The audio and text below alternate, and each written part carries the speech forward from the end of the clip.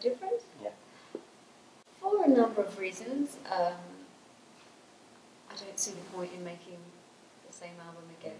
To, to do Fever again would, I think, be far more um, astonishing than making an album that's different. So it's a question that I, I always find a bit strange because it stands to reason that I would want to move on. Mm. Um, and if you look at the history of, at least with, with my albums with Parlophone, the last three albums, since the comeback, the first one, Reclaimed Pop, the second one was Fever, which was very heavy dance electro. And then we've just kept the electro influence, definitely, electro beats, maybe slowed them down a bit, made them a bit more feminine in some areas, a bit more um, sensual. And, uh, and I think it worked. I think it, I found it really easy to record and a joy to record, to, to experiment with so many different vocal deliveries. And uh, I guess it's a good sign if it, if it happens fairly swiftly and smoothly. So um, that's the Um, best I can. Yeah, totally. We worked with um, 50-50, some producers I'd worked with before, some I hadn't, and some, as you say, bedroom producers like Baby Ash, who has been working for for a while, but this would be his first step into the commercial world of music. Um, and yeah, they come with fresh ideas and, and a fresh interpretation of, of what Kylie, what they think Kylie should be on a record.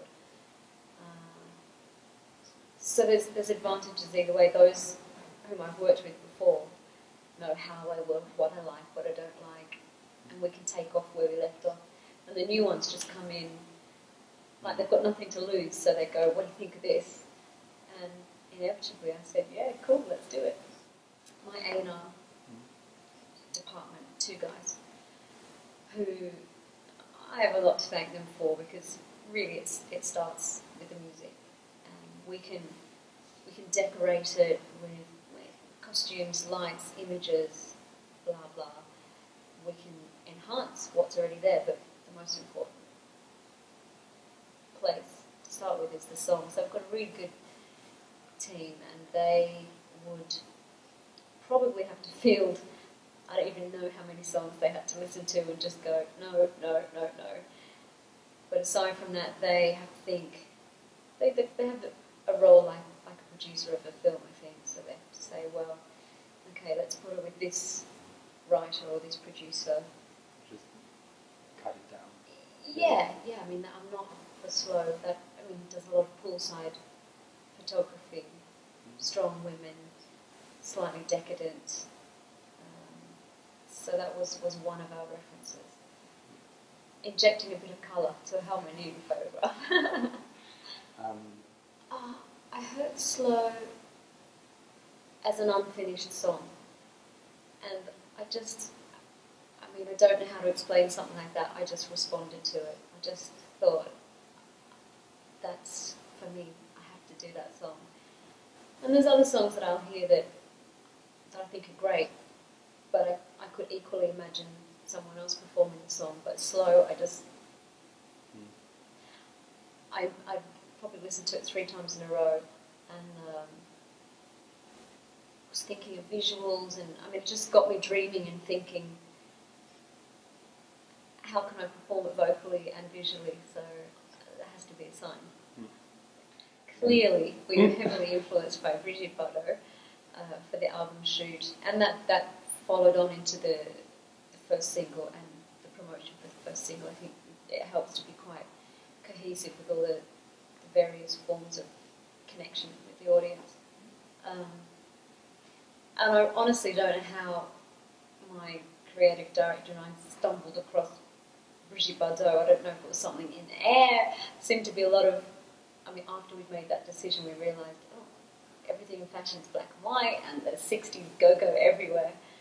Um, so partly it's probably just, you know, what's in the air for people. But once we'd decided to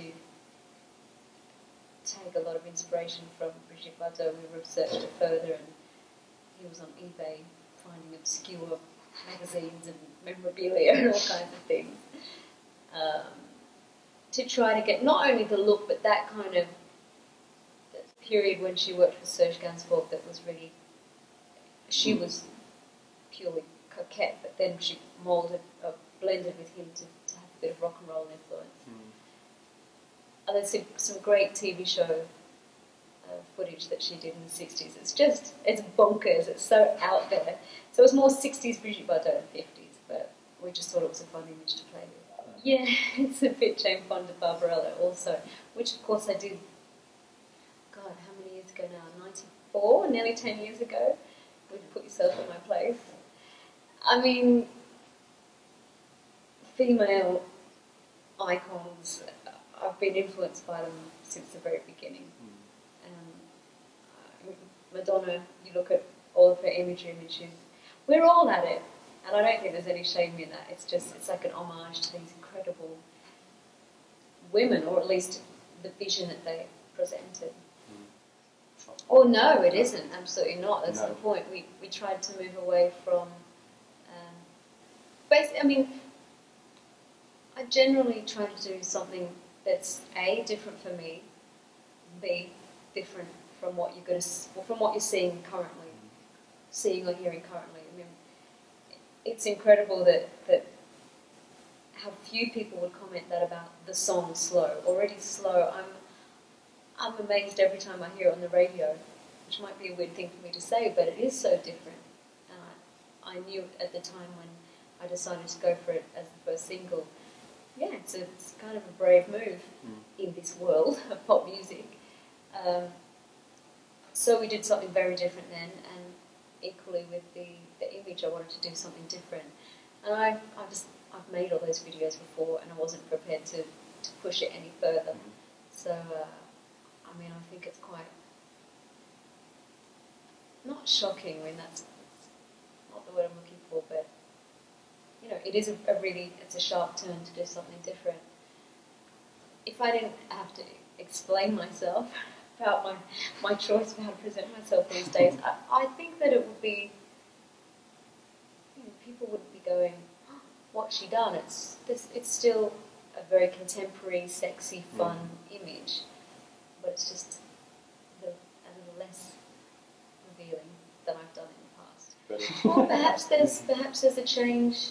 You know that I'm I'm part of society as a whole as well, and even when we don't realise we're, we're having these influences or some kind of collective thought happening, um, you know, perhaps we are about to sway away from what we've been doing for the last five years or so. gets boring. Well, yeah, and- it's, and I don't want to be bored myself, and I don't want to bore people, so it stands to reason to do something different. Mm. Oh, for me, it's essential. I mean, sometimes you laugh or you cry, so I prefer to laugh. And I'm, I, I just have a strong sense of humour. And sometimes we present that in, in a, a really subtle way. Hardly. I mean, even the video for spinning around, I mean, we were pretty much having a laugh with that, and that it kind of transforms my career, but we didn't really know what to do in the video, so we said, mm, hot pants and a wink. Yeah. And there you go. So, and I think people can, whether they're aware of it or not, they they understand quite a lot about my personality. I don't, I take my work seriously, but I like to have a laugh with it as well. Yeah, there's Uh, there's concerts and so on. always. I mean, the, the phones at my management's office get requests upon request upon request to do, you know, to help out for all kinds of things. And it's really hard to say no. Um, sometimes I do have to say no because I can't be there. Um, so I try to help out when I can. Um, and I'm actively involved in a couple of children's organisations in Australia and the UK. So I'm trying to do my bit. That's quite good. Yeah. Um, do you think people rather listen to you because you're famous? And do you try to? Um, you have a platform, at the very least, um, and if I could, could compare that to to try, trying to get a start in in a business. I'm just talking about my business because that's what I know about. To, to you might have fantastic voice, great songs. You don't have the platform for anyone to hear them, to sign you, to release you, to buy your records. You, you're kind of walking around in circles. So at least I have, I have a voice. People, I, I have people's attention. It might not be the case forever, but I do for now. And um, so so it's a it's a very good means of getting the message across. I think this album has a different life. It's like a different child. They're not going to be carbon copies of each other, brother and sister. Um, I normally, England and Australia being my strongest markets, that's the first place I look to see how the album's done. And it's done really well in both places. And at this time of year, to bore you with all this kind of information, but to release at this time of year, I'm competing against REM's greatest hits, Michael Jackson's greatest hits, REM, blah blah blah. blah. You know, you're really, you're like, hey, notice me, I'm here.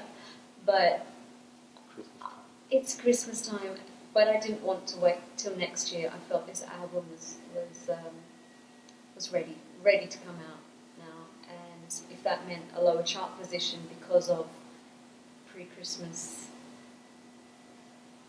record market, then so be it. But I think it's everyone's having to get used to the fact and kind of tell ourselves that it's a different album and it's going to have a different, maybe different longevity, which would end up making it a more successful album than my last one.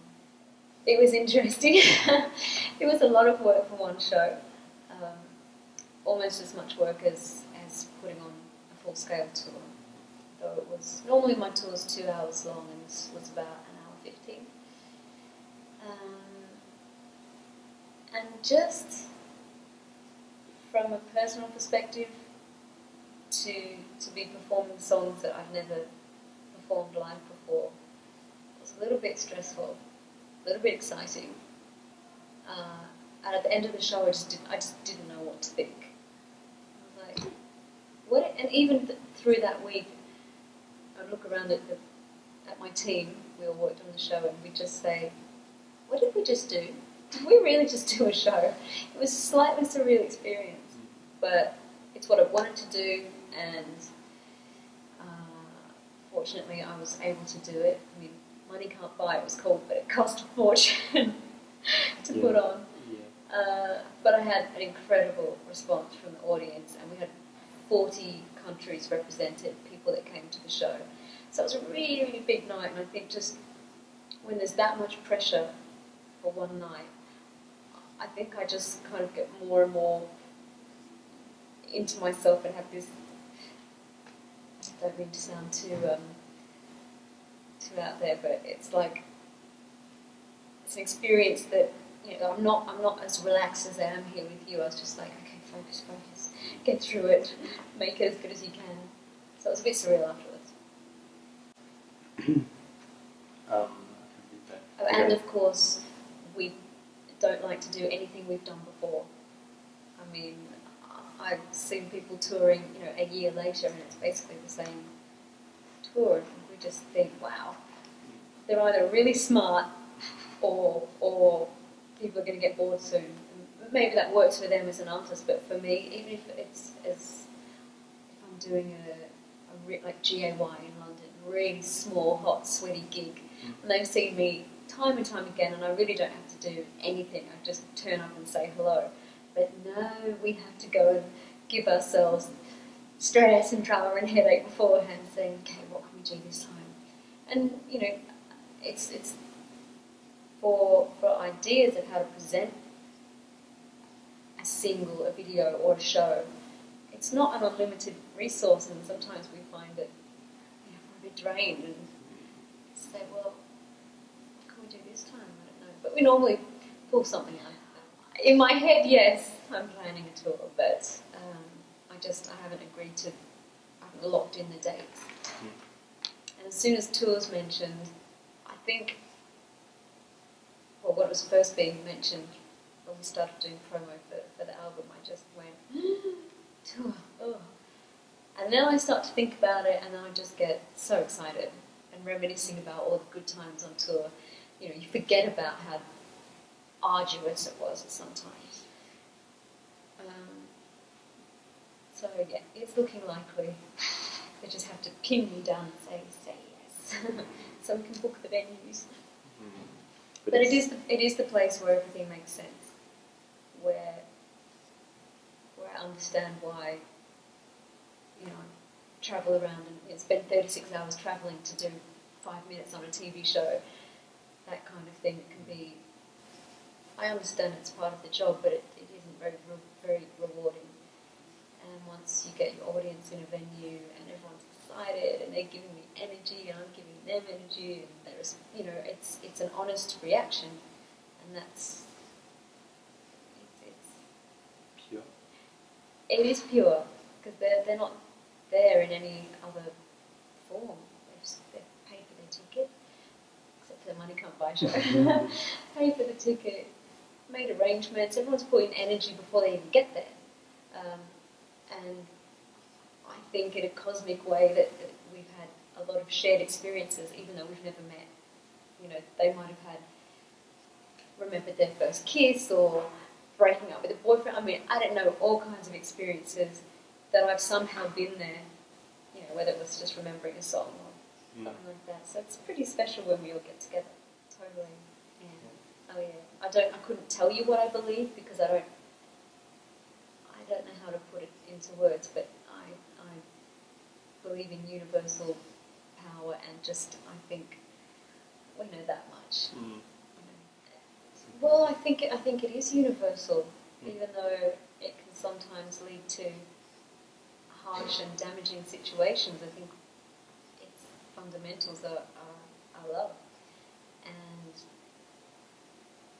not that I've had anyone say this to me for a while, but every now and then there's someone saying, "Oh, pop music, it's just about you know, making up and breaking up," and but you know, so were some of the greatest works of art, or operas, or or I mean, walk through through the museum, and a lot of what you see is about Mm. the same things pop songs are about. Well, Not always, but them. some of them. and I, I guess I used that story because when I was about 14, I used to nag and nag my parents to take me to Pony Club, which was like an hour away.